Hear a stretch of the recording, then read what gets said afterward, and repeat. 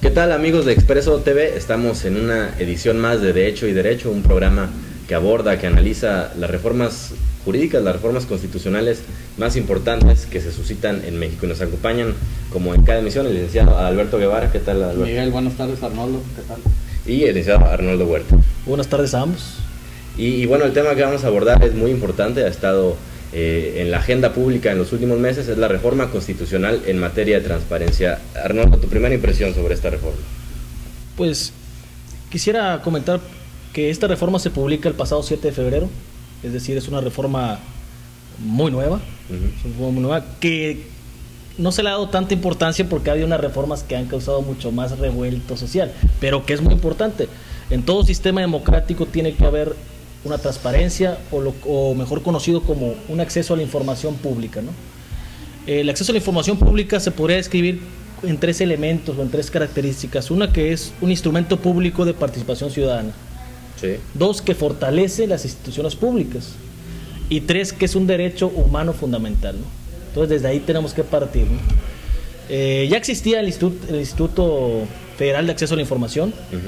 Más ahora aún no le denominan, es decir, aún no le ponen el nombre, más constitucionalmente ya se crea un órgano garante para que la ciudadanía pueda acceder a la información que es de interés público. ¿no? ¿Qué es de interés público? Pues todo, a excepción de ciertas cosas. ¿no?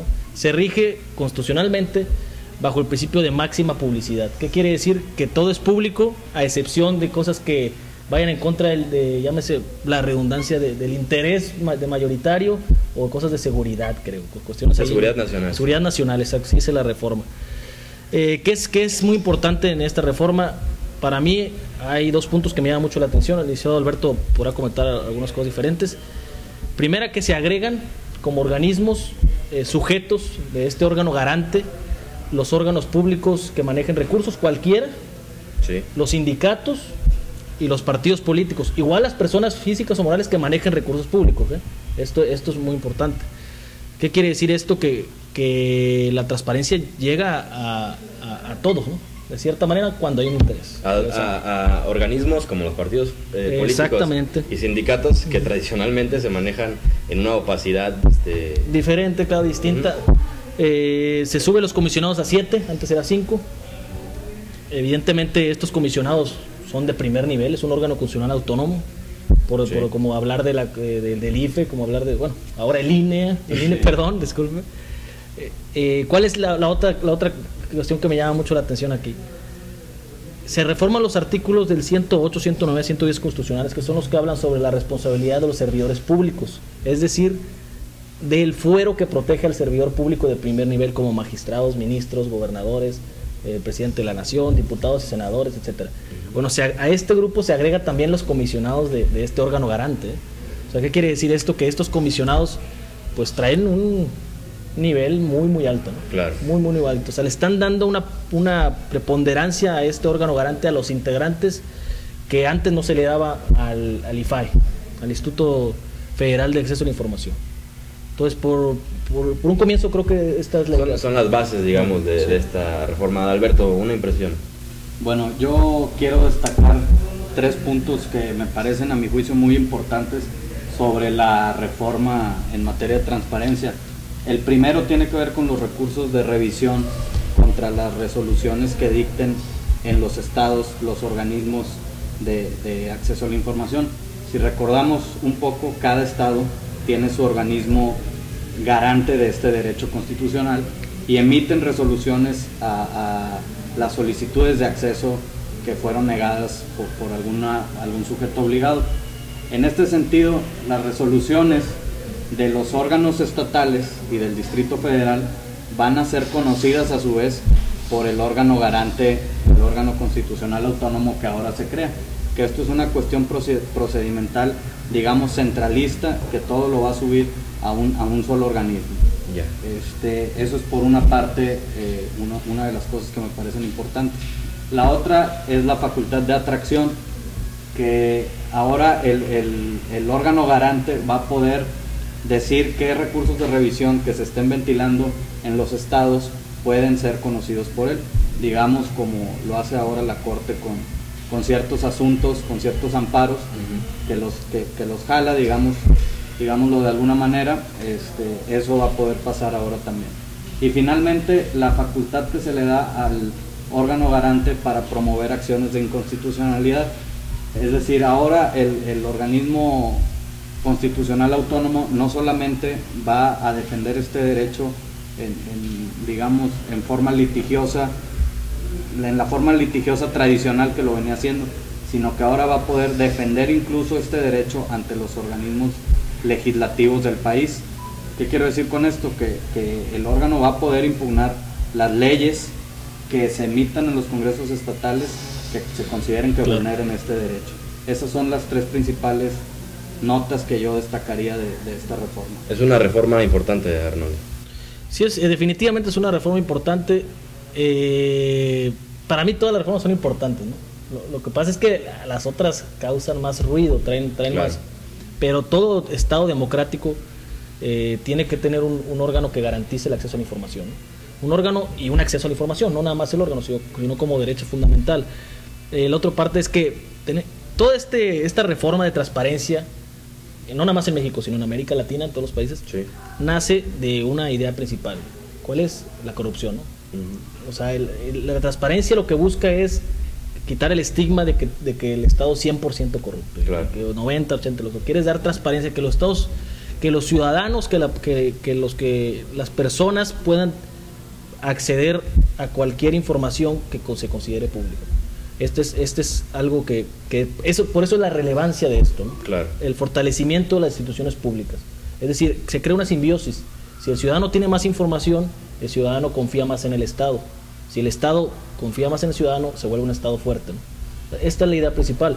Algo que me llama mucho la atención es que en esta reforma me vuelve a llamar que el Senado está agarrando mucho, mucho protagonismo. Como que antes eran las dos cámaras o la Cámara de Diputados.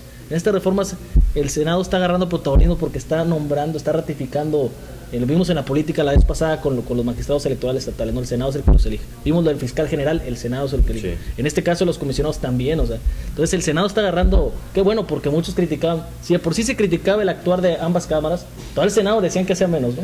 Claro. Entonces esto me, me gusta porque el Senado agarra, agarra protagonismo.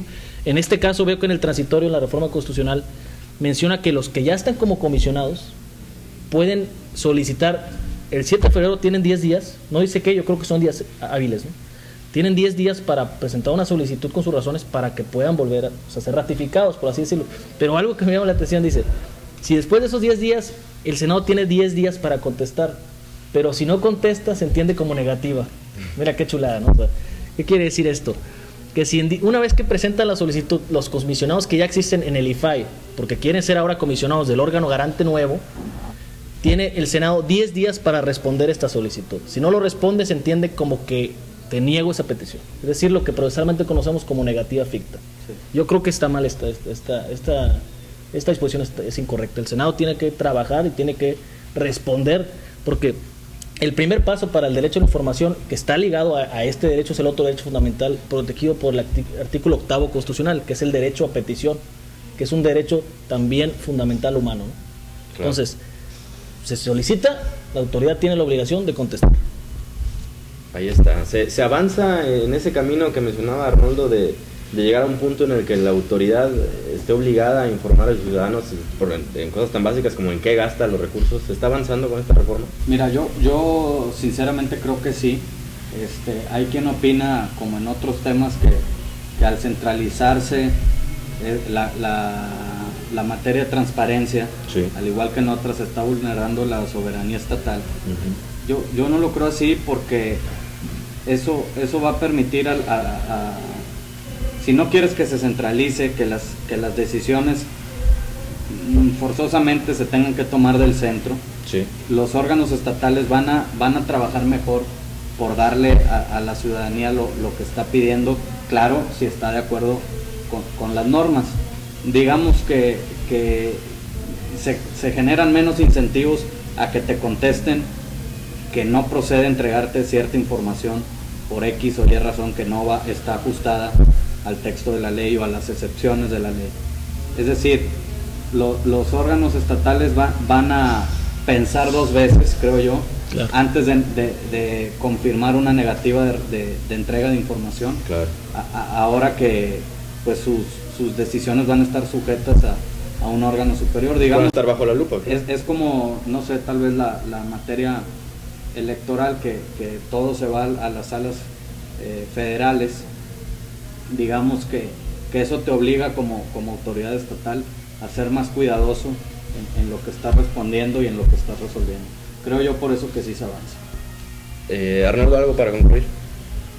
Pues no, bueno, quisiera nada más ahondar un poquitito a lo que hablé sobre la responsabilidad de los comisionados de este órgano garante, ¿no? lo que es la responsabilidad del 108 en adelante constitucional. Eh, para aplicar un poquito más sobre el tema del fuero, la inmunidad, esto quiere decir que al igual que, vamos a irnos al pasado, ¿se acuerdan del caso del peje, no? Aquel desafuero, el famoso, desafuero. bueno, por un desacato. Eh, por un desacato de autoridad. Bueno, ahora cuando los cuando algún, como se dice, comisionado viole la constitución o o sea, cuando comete algún tipo de responsabilidad, no se puede ir directamente con él. Se tiene que hacer o juicio político para removerlo de su cargo, dañarlo, eso se llama responsabilidad política, o cuando tiene tintes penales, la declaración de procedencia, es decir, por responsabilidad penal ellos, su, su rango para mí por eso también sube mucho. Bueno, pues ahí está, Alberto, ¿algo más? Este, pues yo nada más creo que, esta reforma viene a abonar los, esfuerzos que, ya se estaban haciendo. Creo que el IFAI hasta ahorita es, un órgano fuerte, es un órgano que, está vinculando a las, a las autoridades. Por ahí en, el pasado me, tocó litigar algunos asuntos en, en materia de transparencia que, en los cuales la, pues la autoridad administrativa era reticente a entregar cierta información, eh, se, subió a la tribuna del IFAI, del IFAI perdón, y el IFAI resolvió revocando la decisión de la autoridad administrativa e inmediatamente fue, fue cumplida por la autoridad administrativa que en aquel momento. Entonces, creo que, todo esto viene a reforzar más a la, a la institución que encargada de velar por que se cumpla y se respete este derecho humano. Pues ahí está. Como siempre decimos, el tiempo juzgará si esta reforma eh, es correcta, si, se aplica de manera correcta. Eh, y usted también tendrá su opinión. Le agradecemos mucho por su atención, por sintonizar una vez más de Hecho y Derecho y nos vemos la próxima. Gracias.